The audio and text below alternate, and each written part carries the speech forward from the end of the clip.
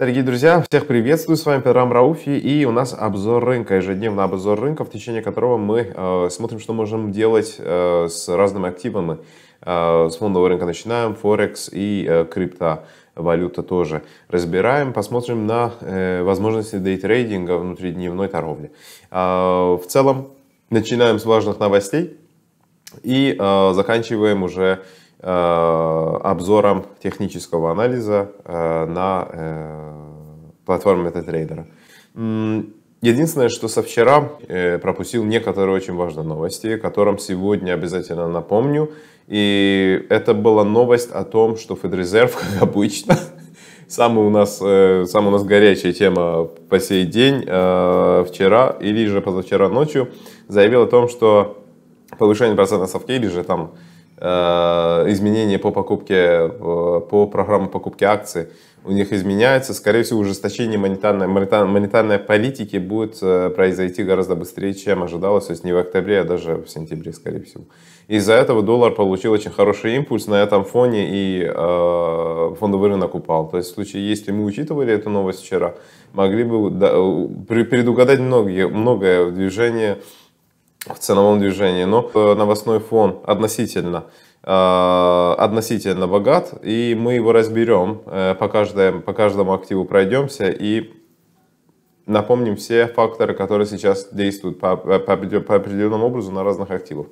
Как обычно, фондовый рынок США, потом фондовый рынок Китая. Тоже горячая тема до сих пор, можно сказать, и э, Форекс, и в итоге криптовалюта. Э, спасибо, что комментируете, спасибо, что пишете вопросы. Если возникнут они у вас, обязательно пишите в комментариях. Я их разберу к следующему разу, к следующему эфиру. У нас эфир ежедневно, поэтому обязательно пишите э, вопросы. Индекс S&P 500. А, кстати, новость по поводу... Это, конечно, это уже считается якобы вчерашняя новость, но, как мы видим, повлияла очень хорошо. Это та новость, которую я пропустил по факту.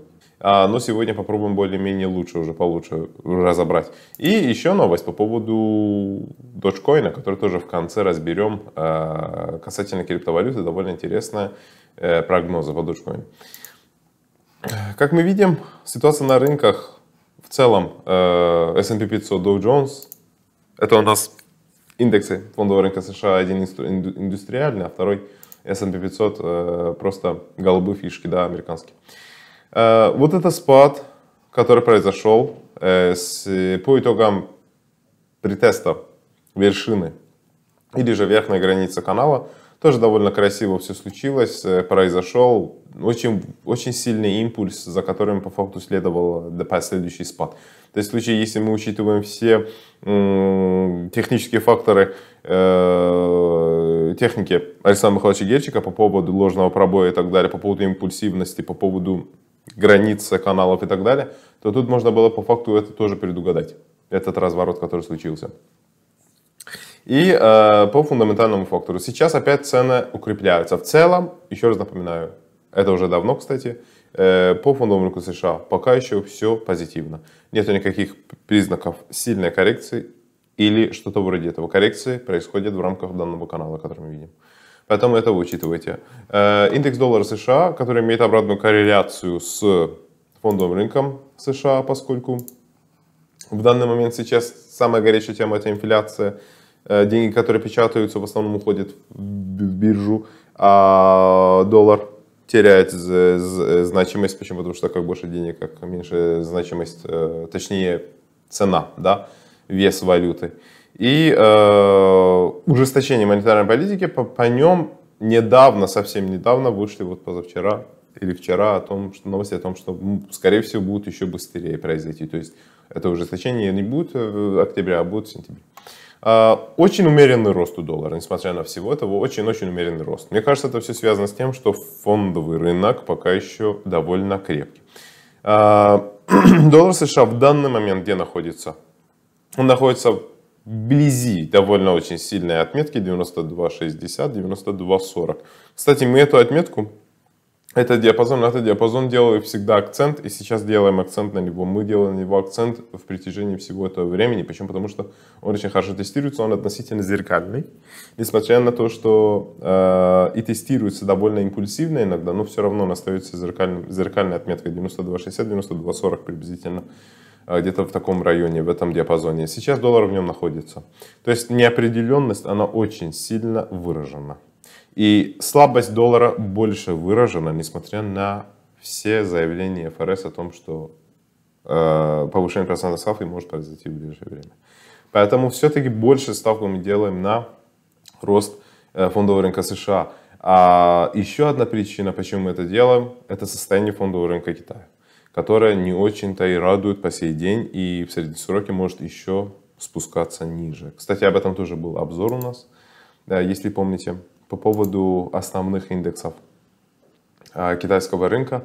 Шанхай Композит, как мы видим, снижение, которое произошло, то есть умеренное, умеренное движение, консолидация, которая продлилась с того раза, она по факту не выросла. С того позапрошлого раза, когда мы делали по ним прогноз, говорили о том, что по факту она очень слабо смотрится. И э, Shenzhen Composite, тоже самая ситуация. И э, China A50. Та же самая ситуация. То есть э, в таком случае нельзя делать ставку на особо таких среднесрочных покупков. Единственное, что спекуляции всегда, возможно, могут произойти. Спекуляция имеется в виду восходящий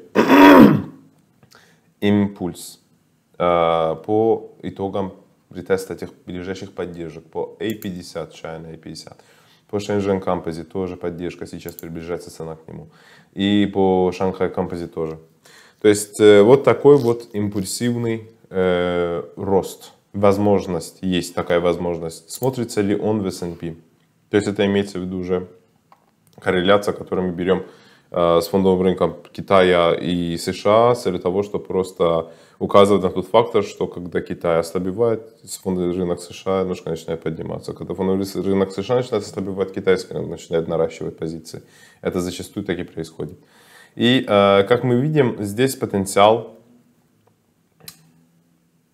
тоже относительно присутствует. Если брать фактор, что цена S&P 500 и Dow Jones, они не поднимаются выше определенного сопротивления, которое здесь. Это тоже довольно сильная отметка, которую мы здесь видим.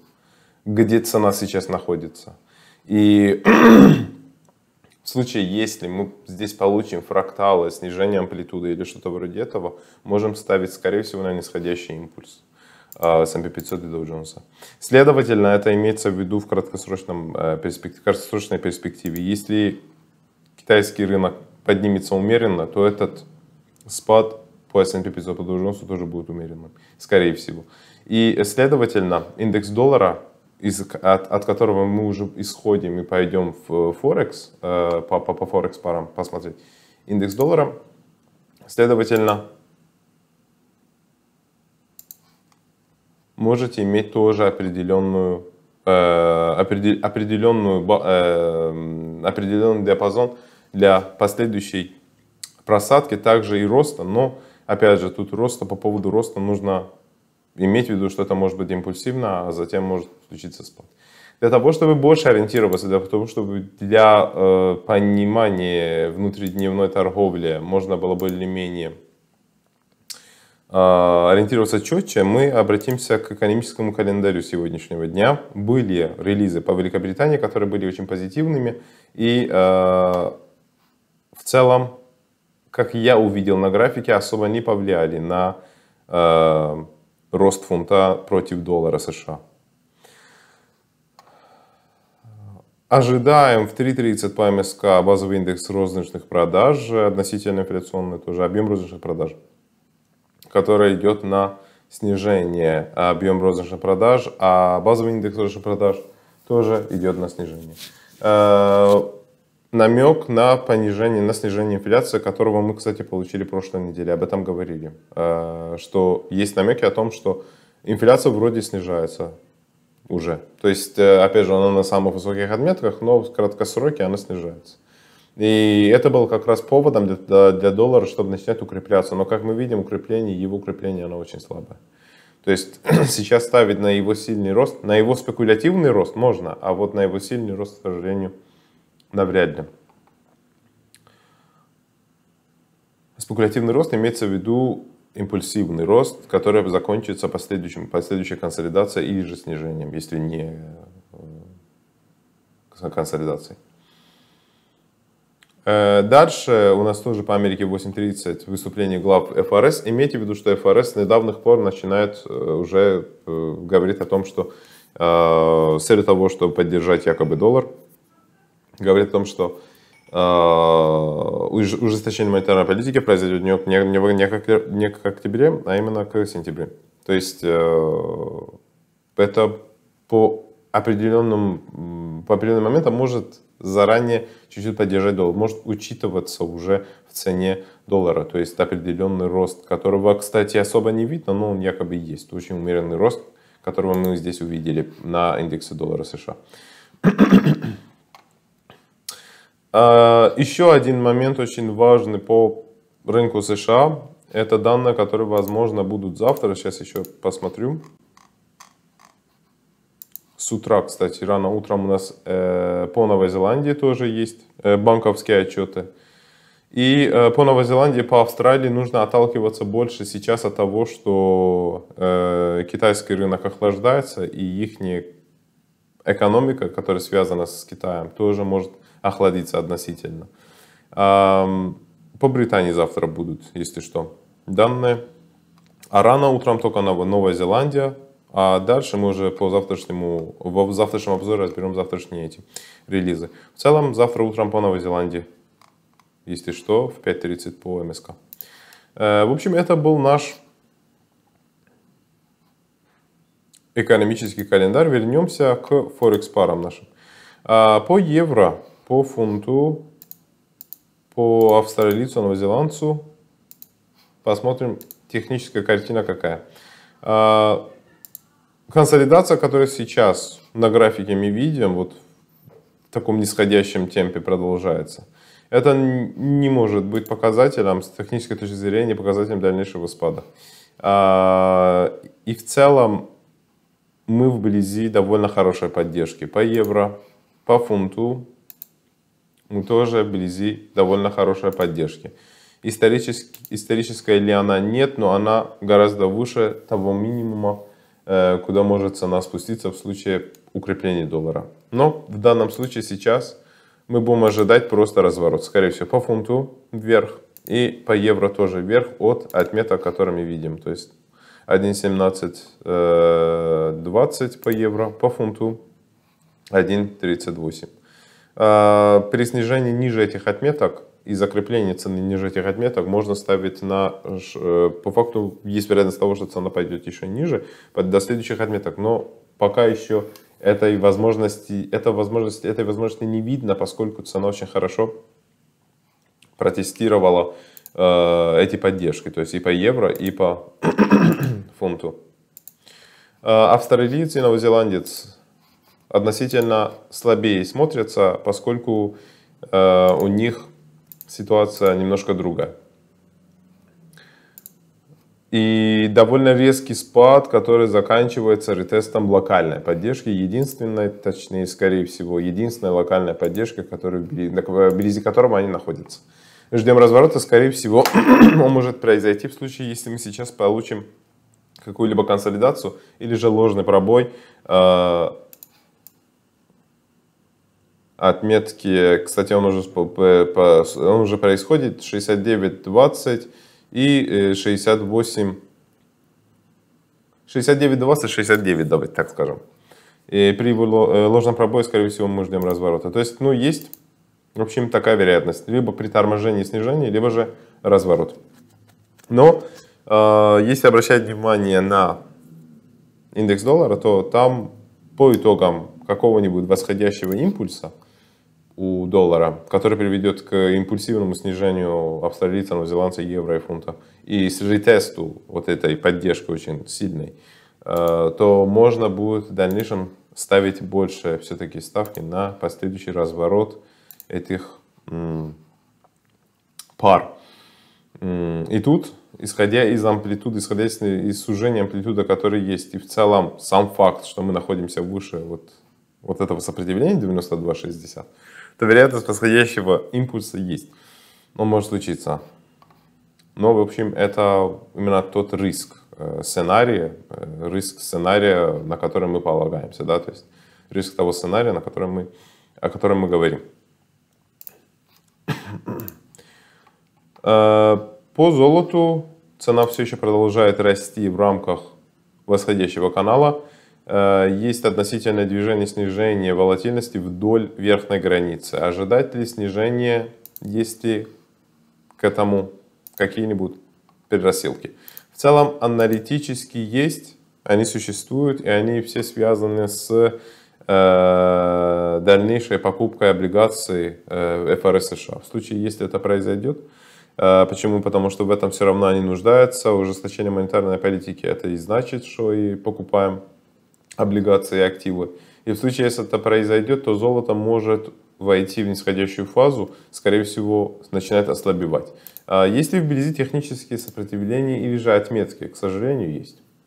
И золото как раз его тестирует. Но он находится относительно ближе, если по цифрам, то это 1800 долларов, но технически он находится чуть-чуть ниже. 1790, там, где сейчас цена находится. То есть эта отметка сейчас тестируется, это зеркальная отметка. После его ретеста может случиться все, что угодно. То есть цена может либо пойти вверх, либо вниз. Это никакое не сопротивление, это никакая не поддержка. По итогам ретеста, который это никакой, никакое дно рынка, никакая вершина рынка по, ретеста, по, по итогам ретеста, который вероятность восходящего или нисходящего движения или-или есть, да, а тут зеркальная отметка, его фишка в том, что может тестироваться, и цена может пойти выше него, но если пойдет выше, то это очень хорошая ставка на последующий рост. А если ниже закрепится, то это хорошая ставка на, на последующее э, снижение. Поэтому по золоту, э, к сожалению, можно в данном случае сделать вывод, что восходящим импульсом последующим, скорее всего, цена и развернется и пойдет вниз. Доллар к франку и доллар к иену тоже являются а, довольно такими защитными активами, то есть защитными парами, а, рост которых обозначает, что относительно на, рынке, на, фон, на фондовом рынке все хорошо. С другой стороны, одновременный рост доллара как защитный актив и вот этих пар тоже как защитный актив приведет к тому, что цена будет консолидироваться, как мы видим сейчас, как мы видели пост, после пандемии тоже эта ситуация продолжалась. Очень сильное, подж... Э, очень сильное сжатие волатильности этих пар, вплоть до того, что нельзя было ими торговать. Потому что просто и доллар растет, и они сами по себе растут, то есть и иена, и франк. Иена уже развернула, э, Япония уже развернула э, экономическую помощь, то есть печатание, печатание денег так же, как и Китай. А, единственное, что США его остановит чуть позже. Ставить на последний дальнейший спад пока еще можно, исходя из технической картины. Но насколько долго это будет продолжаться, особенно исходя из того, что цена вблизи поддержки 0,91, это по поводу франка, извините, 0,9120, а по, йен, по йену, скорее всего, ситуация должна быть относительно похожая тоже есть та поддержка, которая протестировалась, и цена по факту от него развернулась. Эта поддержка довольно является таким диапазоном, лучше его назвать, 109.40 109, э, и 109.20, давайте, пусть будет 109, 109.40. Средний это просто 120, можно от него отталкиваться. Среднее значение 109.20. И в целом цена этой отметки уже развернулась вверх. То есть э, тут в плане продлить продажи, несмотря на то, что вероятность очередного спада доллара США существует, исходя из того, что просто фондовый рынок может пока еще не упасть. Но если фондовый рынок притормозит свой рост, кстати, к этому есть некоторые предпосылки о том, что тут есть в целом расширяющаяся формация по Dow Jones, и по S&P 500 тоже есть. То смотрите, тут уже появляется третий, третий сценарий. Настолько неопределенный рынок сегодня. Ну, или в целом уже э, в последние недели. И в этом всем по факту виноват ФРС. И вот это расширение, которое здесь происходит, насколько технически они могут выдержать, э, то есть насколько технические покупатели могут выдержать эти, эти отметки, то есть по S&P, по Dow Jones. Расширение очень сильное, относительно сильное. То есть, если мы увидим приторможение роста, это имеется в виду, чтобы Dow Jones не поднимался выше 35 500, и чтобы S&P 500 не поднимался выше 4400, 4470, 60. Если они будут подниматься выше этих отметок, то значит с долларом все будет в порядке. Значит сценарий э, спада евро, фунта, э, австралийца, новозеландца будут в приоритете. Значит сценарий разворота USDJPY, USDCHF и их последующего роста вверх будут более э, вероятны. Поэтому эту, этого сценария тоже учитывайте э, в свои Э, свой, свой трейдинг. То есть мы получили сегодня три сценария. Три сценария, которые могут произойти.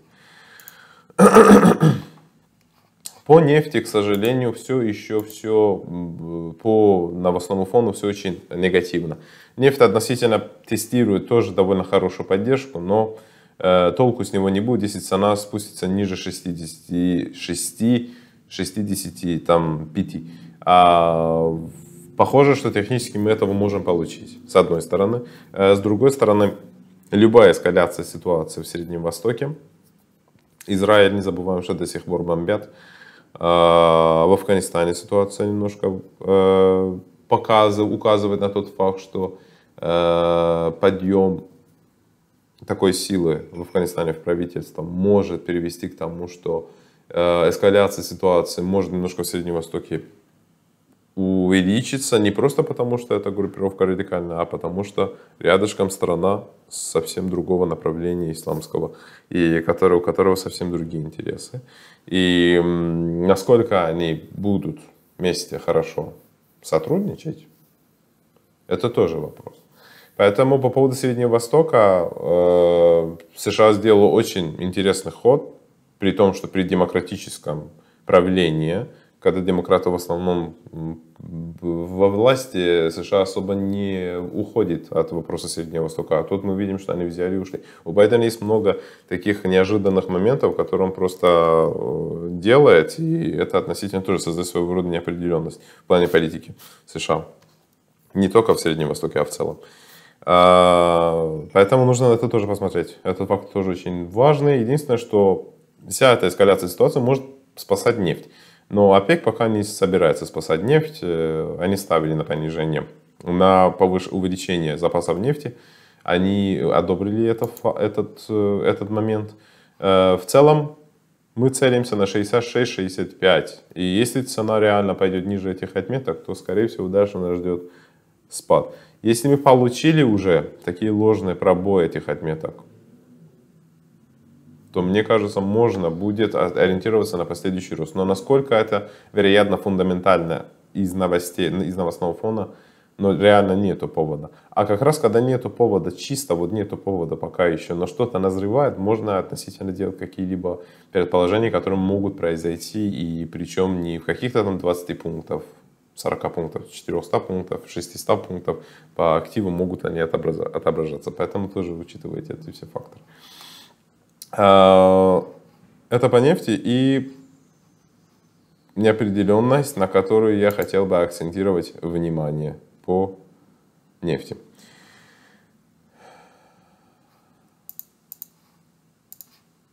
По поводу доллар США канадец, импульс очень сильный произошел восходящий. Дальнейший, дальнейший рост под вопросом. Почему? Потому что мы рядышком находимся, находимся недалеко от очень сильного сопротивления, довольно хорошего сопротивления. Мы находимся на него, конечно. То есть мы находимся э, над ним. Это уже хорошо. Это, это имеется в виду хорошо для доллара и плохо для нефти. То есть, да, нефть вниз, доллар вверх. Все, все в силе. То есть, вот этот третий сценарий, о котором, который созрел э, во время обзора, он, походу, оказывается более-менее, ну, то есть, в темпе в, в темпе всего остального идет. Поэтому по поводу дальнейшего роста в целом можно относительно надеяться, но а, тут нужно дождаться хоть какое-нибудь подтверждение уровня. Потому, почему? Потому что очередное подтверждение уровня, либо же диапазона 1.26, кстати, хорошая отметка, 26, 1.25.80. Пусть она еще раз подтвердится. Но в целом я бы, скорее всего, здесь э, особо не переживал. Думаю, что для лимитных ордеров по покупкам довольно хорошая ситуация. Нужно посмотреть на индекс доллара. И нужно, кстати, дождаться, чтобы S&P не вышел выше, не, не, зашел, не зашел выше 400, 4470 и Dow Jones тоже не зашел выше 35 500. Если они не заходят выше, если э, порты в Китае все еще закрыты, если э, дельта-вариант его распространения все еще угрожает нефти, который, спроса на нефть, который все еще угрожает спроса на нефть, если сам, сама нефть не поднимется выше 68, то, скорее всего, мы можем ставить на дальнейший рост USDK. Э, и заканчиваю сегодняшний обзор э, биткоином, этериумом и доджкоином. Посмотрим, была новость по поводу того, что многие аналитики ставят на дальнейший рост доджкоина. И сам факт, что мы находимся в восходящей фазе по сей день, восходящая фаза, кстати, которая очень давно продолжается, это тоже, мне кажется, относительно впервые в истории э, криптовалюты, восходящая фаза, которая реально очень долго продолжается. После, после нашего выхода а, с, э, с, последней консолидации месячной, полтора месячной, которая была. А по ценам Dogecoin, как мы видим, ситуация на самом деле обнадеживающая, но ну да, и по, и по осцилляторам тоже тут можно в краткосроке надеяться, в среднесроке тоже, кстати, есть намек на то, что можно надеяться. Часовой график. В целом все очень классно, все очень хорошо. То есть по Dogecoin, мне кажется, даже есть сигнал определенный о том, что цена может дальше пойти вверх. Насколько сильно, насколько вверх, исходя из этого канала, можно ставить где-то на 0.36, наверное, до 0.38 максимально, я думаю. Это возможно, но опять же, друзья, имейте в виду, что это все не сигналы, это все не рекомендации вам для торговли, это все мое личное мнение по поводу дальнейшего ценового движения актива. Э, по поводу биткоина и по поводу эфириума. Ситуация относительно похожа, цена в рамках канала продолжает рост. На часовом графике, переходим на часовой график. Я тут нарисую этот канал, который здесь есть. По... Это у нас биткоин.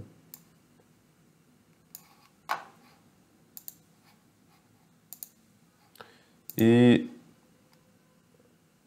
есть расширяющаяся формация, к сожалению, здесь, но над предыдущим сопротивлением. Средние сроки, возможно, у нас будут какие-то снижения, но если что, мы диапазоном возьмем 43 тысячи, и этот диапазон будет диапазоном коррекции. Обращайте внимание, если сильный импульс произойдет в, рам, в районе 40, 47 тысяч, восходящий импульс сильный, то это очень плохая новость.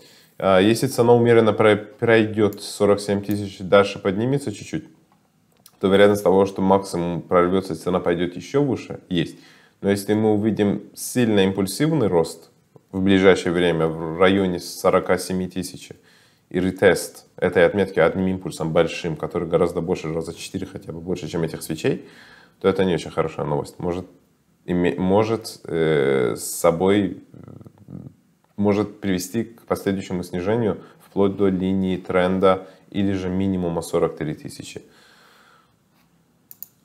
А так все пока нормально. По эфириуму отбиваемся от линии тренда, кстати. Тут очень красиво, очень хорошо показывает на то, что вероятность снижения, кстати, тоже есть. Почему? Потому что мы все еще не, не протестировали вот, этот, вот эту поддержку, и его ретест, он вероятен, исходя из вот этого поджатия цены.